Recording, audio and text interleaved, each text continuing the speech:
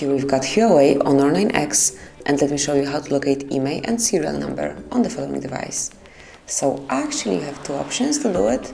The first one is to use a secret code, so at first you have to open the phone dialer and now enter the code which is asterisk pound 06 pound and as you can see right in front of you you've got both IMEI numbers and also serial number assigned to your Honor 9X. Tap on OK to go back and the second possibility to read those numbers is to open the settings, then go to the bottom of the list, select About Phone, and now right here you've got IMEI number.